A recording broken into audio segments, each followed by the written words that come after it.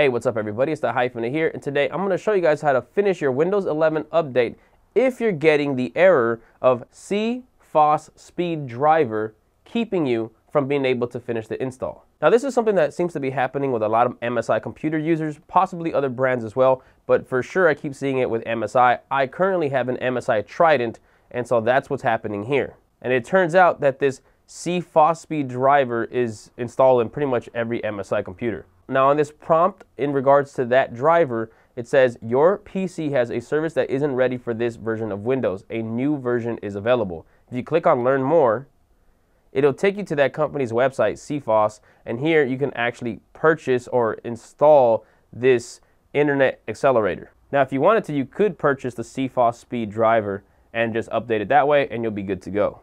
So here's a solution that I found for MSI users that have Dragon Center. So we're gonna go to the programs and launch Dragon Center, which is right here.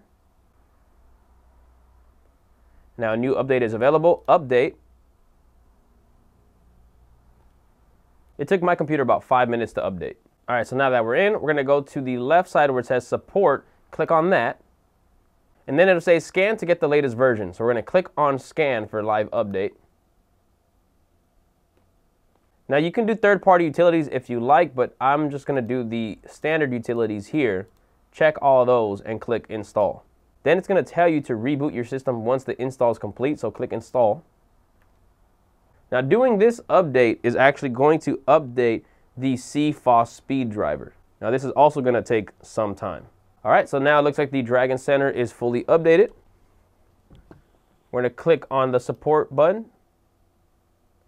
Click on scan once again, just to make sure that there's nothing else that we need to update on the utility side.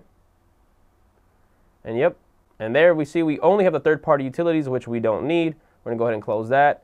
Now, if I click on refresh here, it's not gonna work. I'm gonna have to actually restart my computer.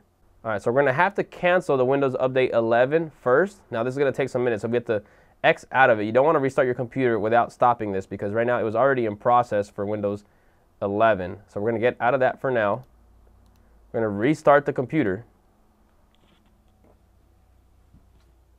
All right, so now we're going to go back into the settings, update and security. And then now we're going to install Windows 11. We got to start again from scratch. So it's going to start from zero. And as you can see here, now we're at over 35%. So it's really that simple. If you have an MSI computer, just go to update your MSI Dragon Center and then go and support and then update all the other utilities that you can. That'll automatically update the cFosSpeed driver that was not allowing you to update to Windows 11. So now we just let it run its course and finish its install. And there you go. You should have no interruptions whatsoever regarding the cFosSpeed driver. When it's done, go ahead and click on restart now.